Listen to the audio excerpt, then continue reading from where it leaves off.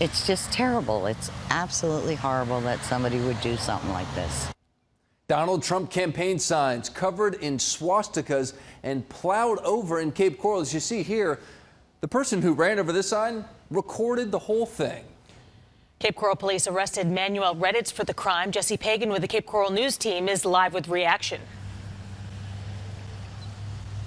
Yeah, this is one of the signs that have actually been damaged here in Cape Coral. The wind actually pushed it over within the past hour, but take a look at the actual sign. You can see someone spray painted with orange paint through the word Trump and then drew that swastika over the words there. You can see that right there, leaving the owner of the sign really just wondering why someone would do this.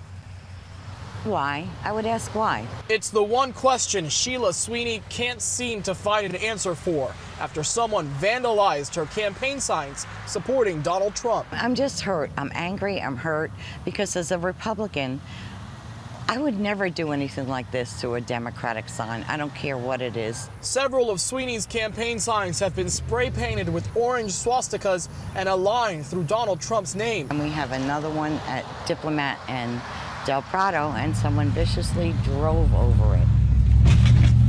This video posted on Facebook shows that sign being plowed down. The man driving is 36-year-old Manuel Ratiz. We knocked on his door, but no answer. Just kind of silly. I mean, you can have your own opinion about something, but, you know, it doesn't really, it's not going to help anyone's campaign by trashing whatever side. Tracy Evans boils the damage down to frustrations voters have over who their choices are. I think it's just, again, people probably letting out their frustration. While Sweeney is left hoping it doesn't happen again. At the end of the day, I'm just going to hope that people don't do vicious stuff like this. It's, it's, not, it's unheard of.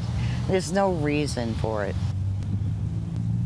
Cape Coral police have arrested Manuel Ratiz and charged him for criminal mischief for running over that sign as you saw in that video there. Now, Sweeney tells me she isn't deterred or scared at all by any of this damage to any of her signs. She's still going strong for Trump, and she says that she and some of her friends will be working to replace them or fix these signs in the very near future. We're live in Cape Coral. Jesse Pagan, NBC2.